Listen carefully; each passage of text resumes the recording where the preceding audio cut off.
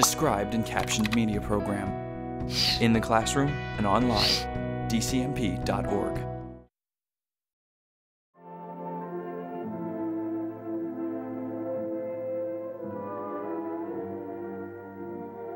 Chrysler Corporation and Philco recently broke the news of a startling new development in car radios. Phenomenal surface barrier transistors result in an auto radio that doesn't heat up and that has no tubes. And what is a transistor?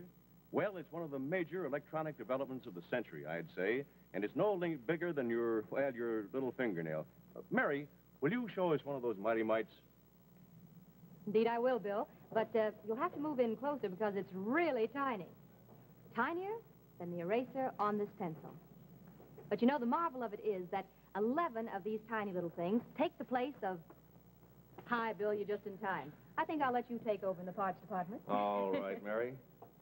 Well, 11 transistors replace one transformer, a vibrator, and nine conventional glass tubes. Now, what a fantastic difference in size, but more important than the fact that the completely tubeless car radio saves parts and bulk is that it saves on the power from your car battery. Now, the average conventional car radio draws about 42 watts, whereas the transistor radio draws only about 4 watts, cutting consumption of battery current by 90%. And do these little guys make a car radio rugged? No delicate filaments in them to burn them out, nothing to jar them out of place.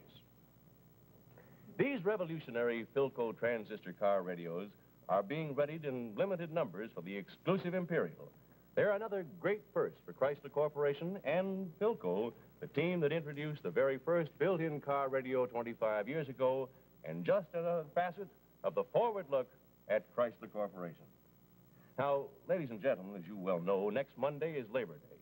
In recognition of this occasion, Chrysler Corporation says thanks for a job well done to all the men and women who have made this a banner year for the cars of the Forward Look from Chrysler Corporation. The described and captioned media program provides services designed to benefit students who are blind, visually impaired, deaf, hard of hearing, and deaf-blind. These services include a library of free loan described and captioned educational media, a clearinghouse of information related to educational media access, a gateway to internet resources related to accessibility, and a center for training and evaluation of any service provider desiring to appear on the DCMP's approved lists of description and captioning service providers. There are no user registration or service fees. Visit the DCMP at dcmp.org.